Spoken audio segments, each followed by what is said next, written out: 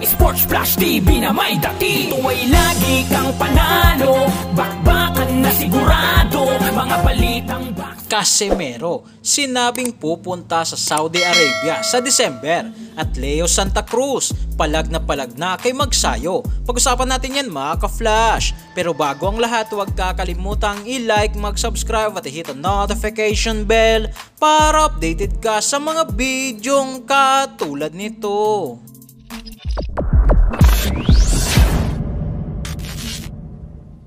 So isang napakagandang balita nga po mga ka-flash para kay Mark Magnifico Magsayo kahit natalo kay Ray Vargas at maagaw ang titulong WBC Featherweight ay mukhang mapapalaban muli ito sa isang titulo na yan ay sa titulong Super WBA Featherweight na hawak ni Leo Santa Cruz na dito nga sa naging pahayag ni Santa Cruz sa fighthype.com ay sinabi nito na nakahanda itong lumaban sa kahit sino, si Vargas man yan, Wood, Russell at Magsayo na kung sino man ang gusto ng mga boxing fans ay lalabanan niya ito na posibleng sa buwan ng Oktobre o Nobyembre nga daw ito mga ka-flash. Sa ranking nga ng WBA sa featherweight division ay rank number 5 dito si Mark Magsayo at WBA Super Champion naman si Leo Santa Cruz. Habang sa kabilang balita nga po mga ka-flash patungkol kay General Cuadro Alas Casimero ay nagsalita nga po ito sa kanyang bagong live sa Cuadro Alas TV vlog.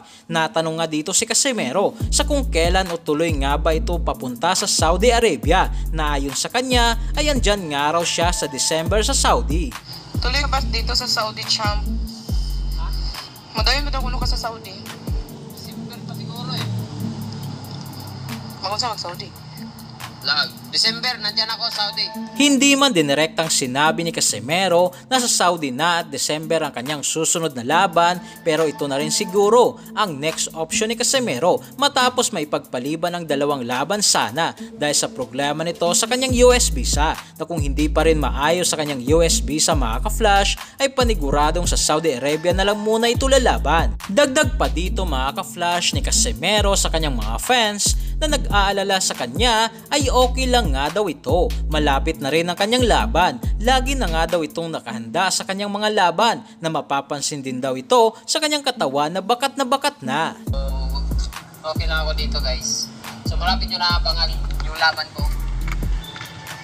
Lagi akong naghahanda sa laban ko. Kita-kita nyo naman yung katawan ko.